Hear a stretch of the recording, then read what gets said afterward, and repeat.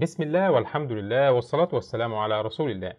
النهارده إن شاء الله هنتكلم عن برنامج Uninstaller. لو كتبنا كده في خانة ال search على جوجل IObit Uninstaller هيظهر لنا كأول نتيجة بحث، لو ضغطنا كده عليه هيظهر لنا على طول الموقع صاحب هذا البرنامج.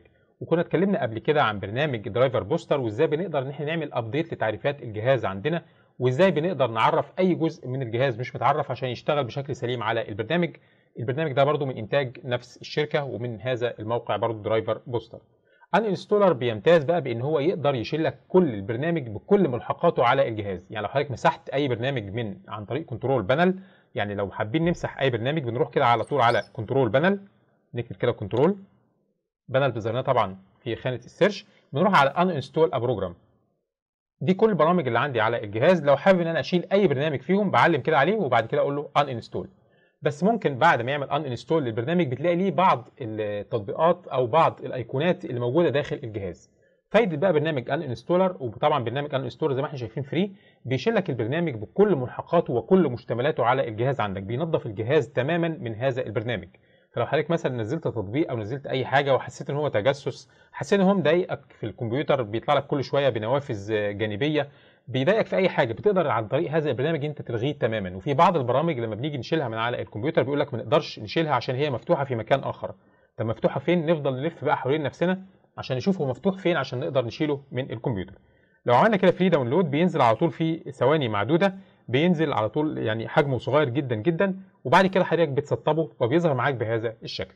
دي الواجهة الرئيسية للبرنامج بعد ما سطبناه على الكمبيوتر اللي هو IObit Uninstaller زي ما إحنا شايفين الأيقونات اللي هي أو القوائم اللي موجودة على ايدنا الشمال programs و software health طبعا software health دي كلها عشان تعمل لها fix زي ما إحنا شايفين هنا دلوقتي بيقول إن في بعض البرامج فيها مشاكل عشان تعمل لها fix لازم إنك أنت تشترك في النسخة ال pro النسخة المدفوعة. لكن إحنا دلوقتي في النسخة المجانية عندنا هنا أول حاجة programs لو ضغطنا كده عليها بيجيب لنا كل البرامج اللي موجودة على الكمبيوتر. في برامج أنا ما نزلتهاش أو ما أعرفش عنها أي حاجة خالص عايز أشيلها يعني مثلا عايز أشيل Adobe After Effect 2019 اللي موجود هنا دلوقتي بتعلم عليه كده صح؟ وبعد كده بتروح على uninstall بيشيل لك البرنامج بكل ملحقاته داخل الجهاز. لو دورت لو دورت عليه في أي مكان بقى داخل الجهاز مش هتلاقيه خلاص ولا هتلاقي كل أيقوناته داخل الجهاز. طب إزاي نقدر نعرف البرامج اللي نزلت؟ يعني مثلا اشتغلت امبارح على الكمبيوتر كنت بحاول أنزل برنامج لتسجيل سطح المكتب وبحاول أنزل برنامج ال uninstall اللي قدام حضرتك دلوقتي. في بعض التطبيقات نزلت وأنا ما أعرفش عنها حاجة. فبتيجي برضو على القائمه بتيجي هنا تلاقي recently installed. زي ما إحنا شايفين كده دلوقتي recently installed. لو ضغطنا كده عليها هيجيب لنا كل البرامج اللي لسه نازلة امبارح. دي كلها برامج نزلت امبارح. أنا مثلا في برنامج اللي هو iTop Easy Desktop ده أنا ما أعرفش عنه أي حاجة خالص أضغط عليه كده وأقول له uninstall هيبدأ على طول في عملية إلغاء تحميل البرنامج ده. البرنامج ده 140 و21 من 100 ميجا بايت. لو عملت له كده uninstall هيبدأ على طول في إزالة هذا البرنامج. وهيزيل كل المكونات بتاعته داخل الكمبيوتر. هو طبعا ليه أيقونة على الديسكتوب برضه هنطلع هنلاقيه شالها وهتلاقيه شال كل الفولدرات بقى الخاصة بهذا البرنامج داخل الكمبيوتر.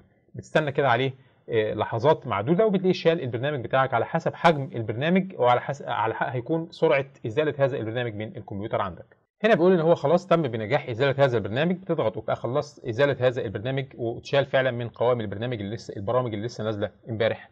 أو recently لسه نازلة قريب يعني. وبعد كده عندنا هنا large programs لو ضغطنا كده عليه هيجيب لك البرامج الكبيرة. مرتبها لك بقى على حسب حجم كل برنامج فيهم. يعني أول حاجة عندنا اللي هو LDPlayer ده اللي هو بيحول لك الكمبيوتر لموبايل. يعني تقدر عن طريقه إنك أنت تنزل تطبيقات الموبايل على الكمبيوتر وتتعامل معاها كأنك بتتعامل مع شاشة الموبايل بالظبط. ده مساحته 34 و37 من 100 جيجا بايت مش ميجا بايت جيجا بايت وبعد كده ال After Effect زي ما إحنا شايفين وال Premiere. البرامج دي كلها بتاعه شركة ادوبي طبعا. مساحتها بتكون كبيرة.